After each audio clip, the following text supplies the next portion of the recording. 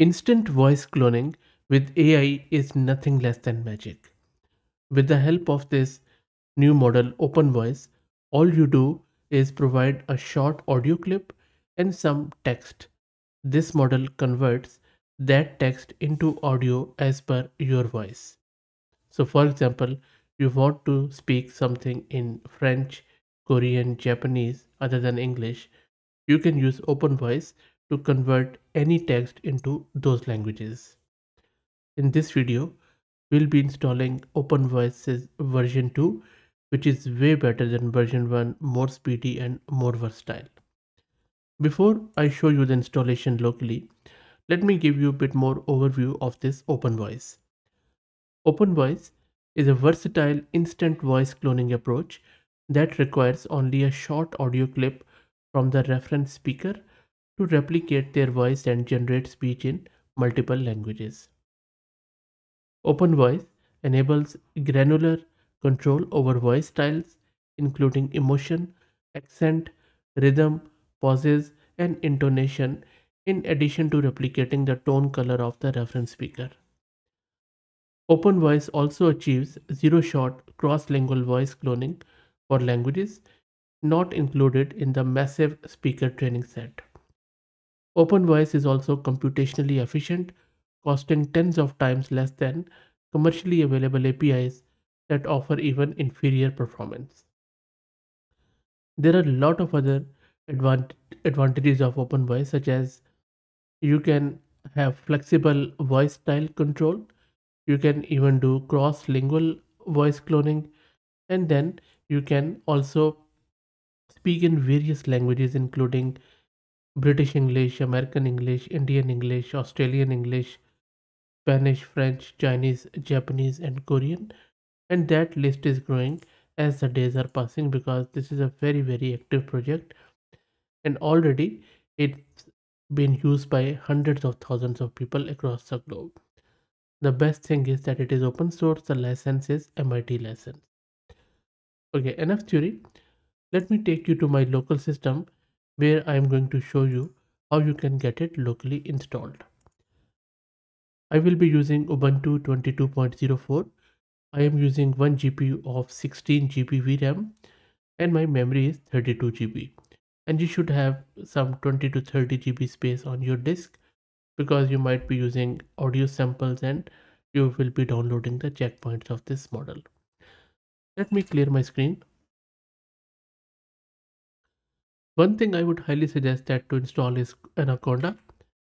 I already have it installed. If you don't know how to install it, then please check out my channel. I have done few videos around it. So you can see that I have this Conda version 24.1.2 installed. Let me clear the screen. And the reason why I'm using Conda is to keep everything separate from rest of my uh, operating system configuration. So let's create a Conda environment and this OpenVoice needs python 3.9 so you can see that i am creating this environment with python 3.9 just simply type y for yes. And it is going to install all the prerequisites in your new environment. So let's wait for it to finish. That is done. Let's activate OpenVoice and you can see that it is now activated in the parenthesis. Let's git clone this repo which I just showed you. And you can just say yes here.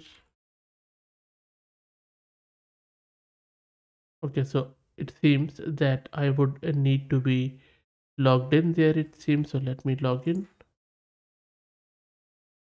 Or you can simply try this command first. Git clone and then simple url instead of that git clone and this time it worked okay.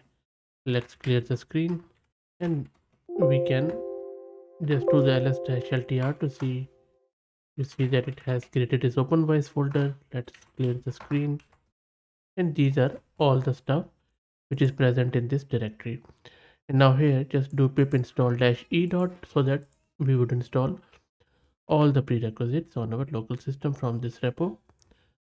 Let's wait for it to finish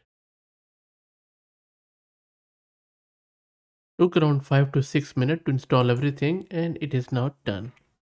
Let's clear the screen and let's do ls-ltr again here. Now here just let me first show you this open voice directory if you check this directory you will see that there are some models.py and all that stuff so make sure that these files are there let's go back let's clear the screen and now here let's create a new directory called as checkpoint underscore v2 new directory checkpoints underscore v2 let's cd to that directory. And here you can use wget command to download this zip file. This zip file contains all the weights of the model and we will um, weights and checkpoints of the model. So we are going to download it and then we will unzip it in the same directory so let's wait for it to finish. Shouldn't take too long. It's not that big. If that is done let's quickly do ls to check. So there you go. And now simply do unzip here and it is going to okay so unzip is not there so we need to install unzip. And that should be fairly quick. Okay let's clear the screen unzip again and that is done. Okay good. Let's clear the screen in ls quickly. So we have that checkpoint v2 folder here. So maybe we will move this folder from here to the uh, root of the directory. So let me do that. And i'm just using the move command here. So we have moved the folder to the root directory as you can see to home open to openvoice and now it's time to install MeloTTS mello tts is a high quality multilingual text to speech library by myshell.ai which supports languages including english in different dialects and then spanish french and which is examples. So in this one we are going to use the models in MeloTTS as the base speaker. So let's install it. It is going to take bit of a time so let's wait for it to finish mello tts has finished installing. Let me clear my screen and that took around four to five minutes. And then just use this unidic download with the python. And it is going to take bit of a time again because just it is 526 meg let's wait for it to be done.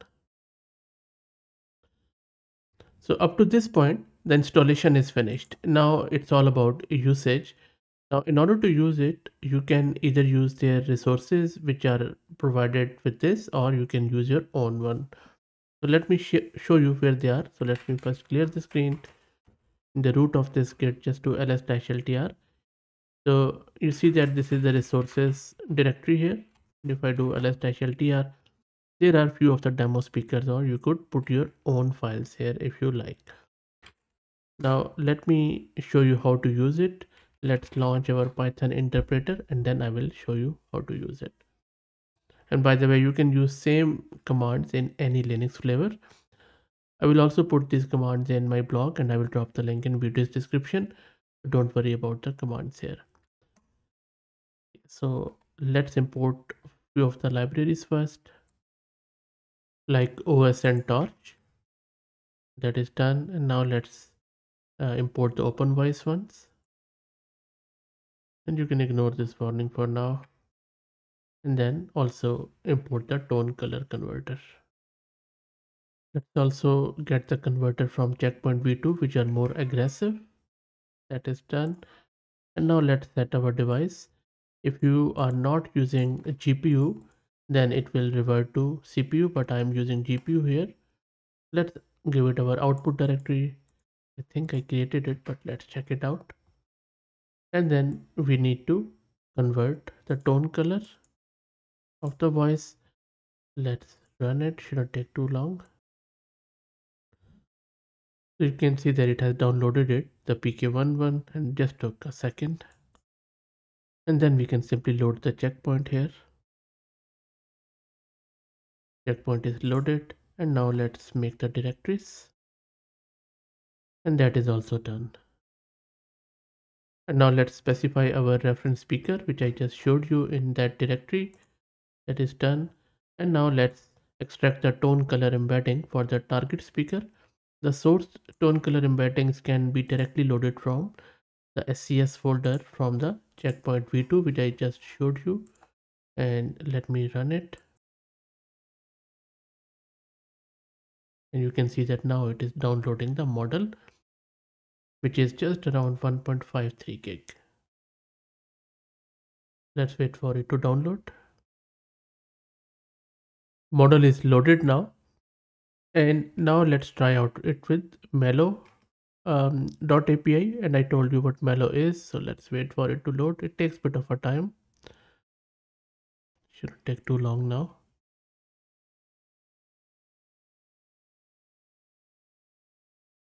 And now let's try it out with different text. So here you can see I'm specifying the text in English, Spanish and Japanese and few other languages. And you can run um, the model in it. So maybe just let's first give it a wave file. This is our uh, target file. We can also adjust the speed like this and then let's put it in a loop and then iterate through this text array and then we are going to run it. So there you go. So model is running on the text. So let's wait for it to finish. And if you look at the code all it is doing it is just looping through that text array and converting it out. So let's wait for it to finish. There you go the first one. It has been split into sentences. Model is loaded for that one. The checkpoints i mean it is converting it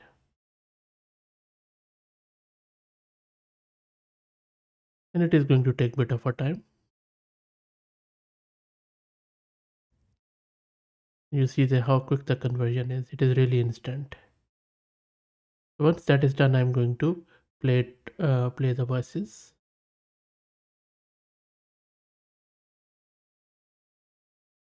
And I believe this is now doing the Japanese one. It got finished and exited and you can see that it now in the output directory we have this temp.wav file which is the resultant file so this is how easy it is to instantly cloning your voice into all of these multiple languages and now let me play one of the voices which we have converted 彼は毎朝ジョギングをして体を健康に保っています。You see how good is that? So you can just put in your own audio clip and then you can give it a text and it will instantly clone it just like this. And you know how to do it locally. You can now create anything you want as per your use case. That's it. I hope that you enjoyed it. I will drop the link to that repo and the code in video's description. Play around with it. Let me know how you go. If you like the content please consider subscribing to the channel. And if you are already subscribed then please share it among your network as it helps a lot. Thanks for watching